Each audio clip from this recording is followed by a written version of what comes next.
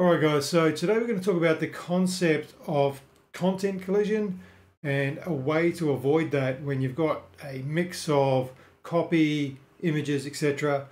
Uh, in a section. Uh, now in this example here I've got a basic hero, uh, we've got a background texture of these hexagons in a section. I've got a left column here, we've got a heading, some copy and a button, and on the right hand side I've got a cutout of a girl with a lollipop. And if I move my width of my screen in, we see is that the width of the left-hand box decreases, as you can see by the text wrapping, but the girl stays around about the same distance from the right of that copy the whole time. So if we go down, we go down, she's still the same distance from that copy.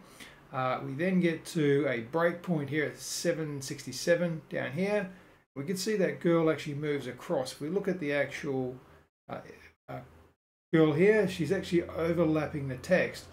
But it's okay for this particular image with that copy because of the cutout we've got with this girl where her head is lining up with that.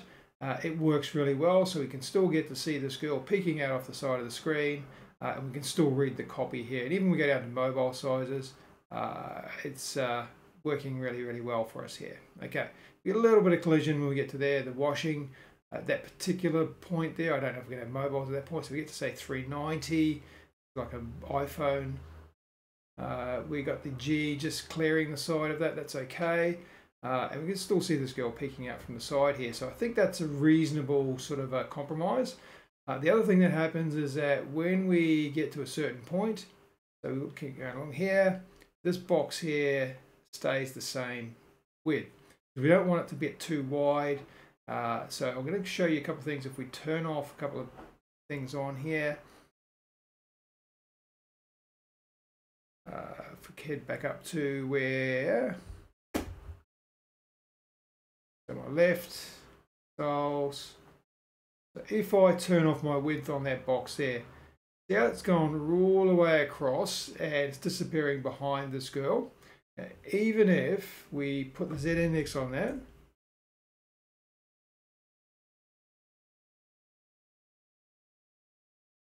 z index of 2, uh, you can see the copy is now sitting on top of the girl, but it's just not readable uh, because it's clashing with the color of the girl. So it doesn't make any sense uh, to do it this way. It makes more sense to make sure that these two never collide. Okay, so let's have a look at what we're doing with that. So if I look at the left column here, so that's my left hero column there. I'm going to look at my computed style. See how it's got 650, watch my mouse, I'm going a bit quick here, down the bottom right, I've got 650 pixels wide. And if I expand my screen, it stays at 650 pixels wide. So it never goes bigger than that. Otherwise, we end up with a really long line of text and you can see the girl stays relative to the end of that uh, column or the edge of that column there. Uh, when I get below a certain point, you see this starting to drop. So I'm at 626 there. As I drop down, 603. You, you can see it shrinking, shrinking, shrinking. And um, and then um, at this point here, it sticks to 650 and won't go any bigger. So I think that's a real reasonable compromise for this copy and that image. Let's look at how that's actually built. Uh, this is a little trick I got from the guys at uh, Automatic CSS, looking at how they, with frames I should say, uh, how uh, they were organizing their CSS. And when you have an element that you've got some custom CSS on it, good to put in brackets uh, CSS, just as a reminder that that's where you put your CSS. Um, now, I know Bricks has a class system where you can select a class and you can go in and add your CSS to that class. I don't recommend doing that when you've got these BEM structures here where you've got multiple related classes. You might even have some pseudos uh, on there. Um, it makes more sense to have all the CSS in one place rather than spread out throughout the uh, elements. Otherwise, you got to go to each element, figure out what CSS has been done on that particular element. So for my liking, I like to stick it all in the one place. So here is all of my CSS just here. that makes all this work. So in the one place. So the structure is we've got a section. So add a section on that section. I've added a class which gives me a background pattern, uh, which is not related to this uh, what we're talking about here. Um, and then I've got a test container. So that's actually the container that gives me my box. If we look here, that's giving me my box width here uh, of, I think, yep, 1100 pixels uh, box width. Um, and everything, so the, the container on the left uh, and the girl on the right is all positioned within that container. So let's have a look at that. The, then we've got the hero test left. Uh, and that is basically this column here, which I think is a block. It is. Uh, I generally use a block if I'm going to use flex. Uh, then I don't have to worry about setting flex properties. So you can use a div and set it to flex, but if we use a block, basically flex with 100%. So then we just got our heading, basic, and button uh, inside that. Um, and then we've got our hero test right wrapper.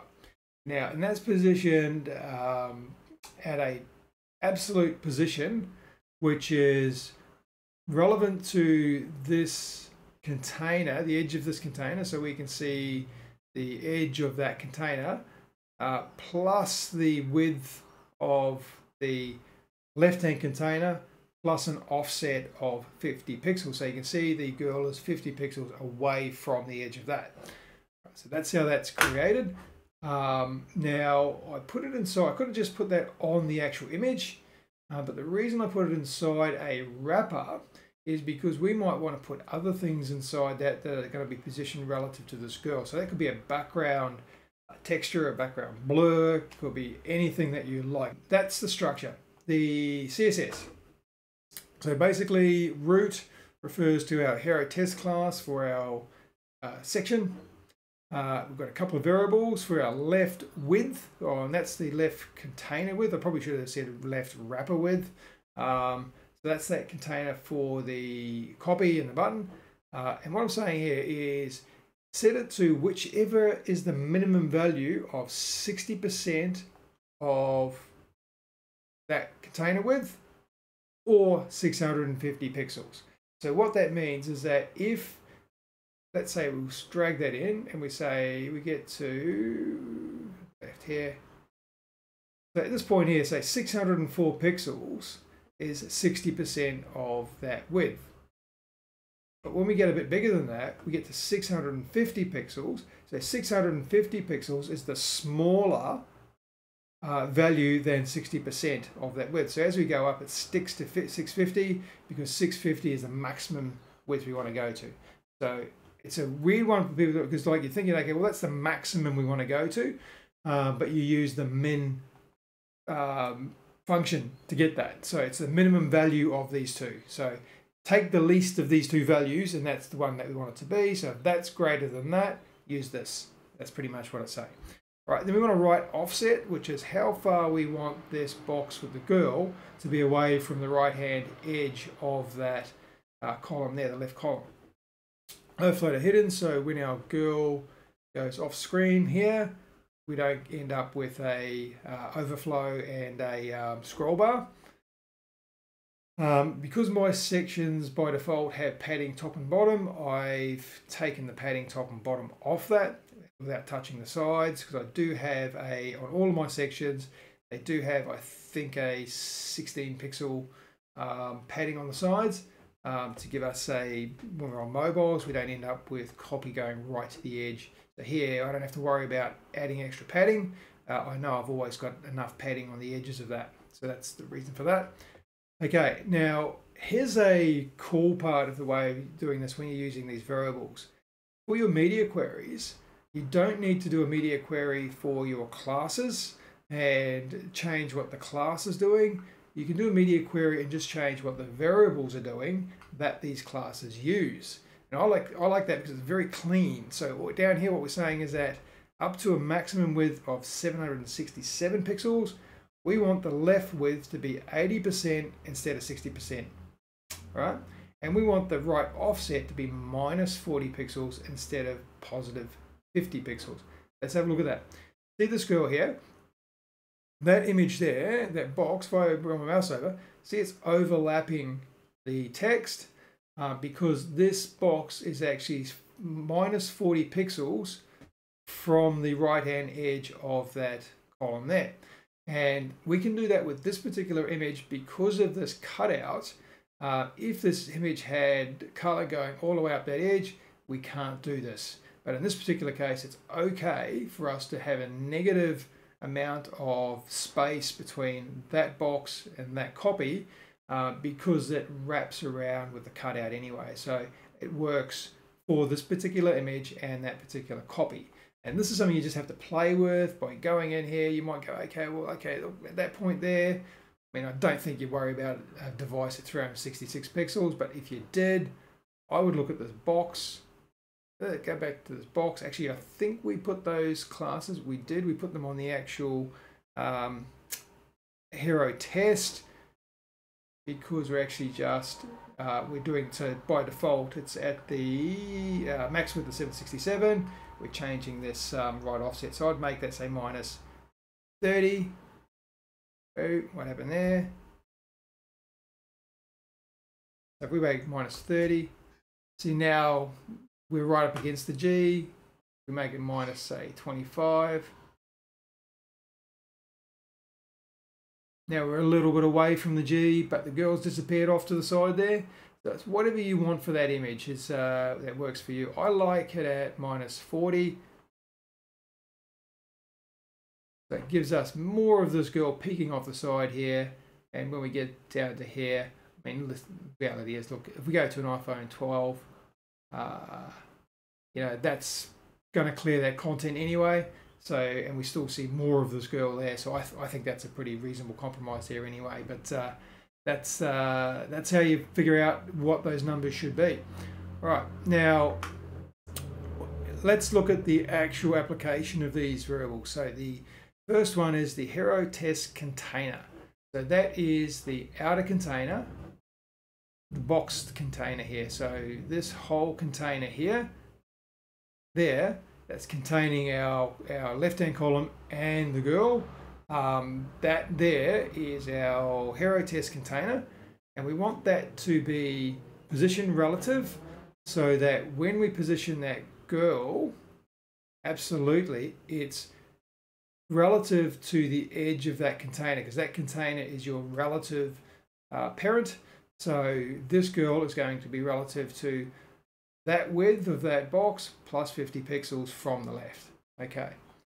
Right, and we're going to set the minimum height to 500 pixels. This works because of this image, um, which I'm aligning to the bottom.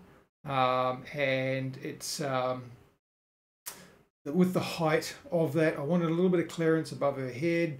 Um, and the minimum of 500 pixels just worked for me. If you're going to add some text in here, some extra copy in here, it gets bigger and bigger. She moves down, we get more space above her, uh, but it still works for us. Okay. All right.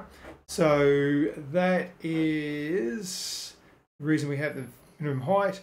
Justify the content of the center. That's moving this box here. Uh, so that's our left to the center. If we set that to flex end,